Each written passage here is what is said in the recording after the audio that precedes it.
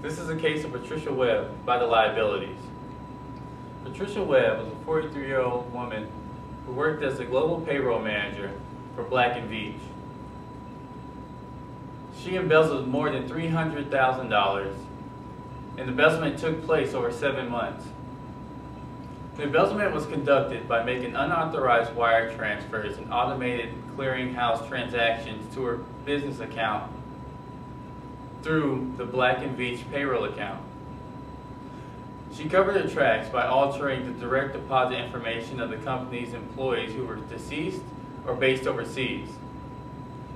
The embezzlement was discovered on March 4, 2016, and legal charges were filed March 15, 2016.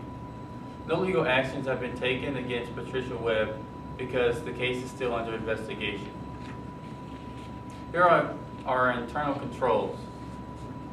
The first one is establishment of responsibility. Patricia Webb was global payroll manager at Black & Veatch, and that was her only task. This establishes responsibility by placing her in charge of only one task. When questionable transactions were brought to the attention of the company, they knew who to go to for these accounts.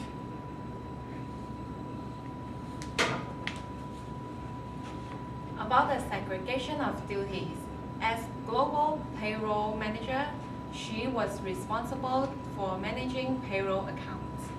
She was in charge of maintaining all aspects of those payroll accounts. Since Black & Veatch didn't assign accountants to handle other relative aspects of these accounts, she was allowed to manipulate documents. And about the documentation procedure, Patricia Webb allegedly made six and authorized transfer into accounts of a business she had previously established.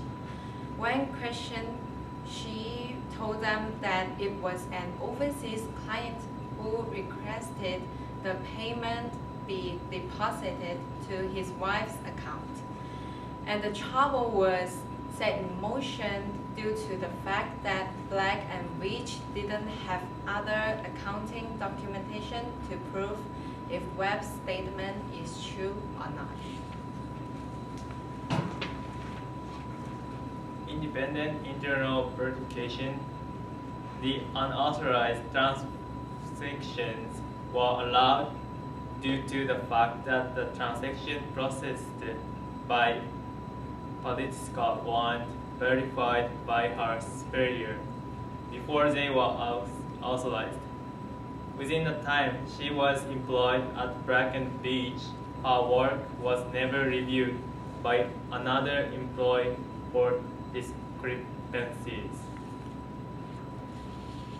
Human resource controls. Before Black and Veatch's case, Webb was found guilty of two counts of forgery when working for a previous employer.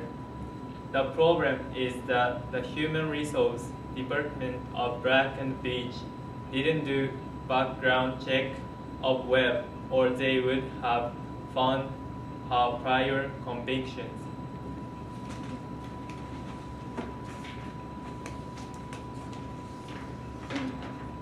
Physical controls. Patricia Webb was able to embezzle money through an unauthorized wire transaction by altering direct deposit information on Black & Veatch employees who, who were deceased or based overseas. They failed to have physical control because they didn't have a system in place to verify employee direct deposit information and flag errors. This allows any employee to do as Patricia Webb and their information for physical gain. To avoid this embezzlement, they could have done pre-numbering documents to track, track them better, and they could have required original detailed official receipt for all financial transactions. And also, um, Human Resource Department should have background check. They should have al- they should have always looked them up by company itself, just say conduct checks with previous job references. And they could have provided a security system that they can track their transaction.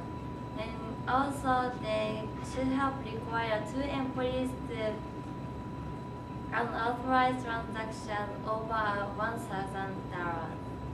Thank you for listening.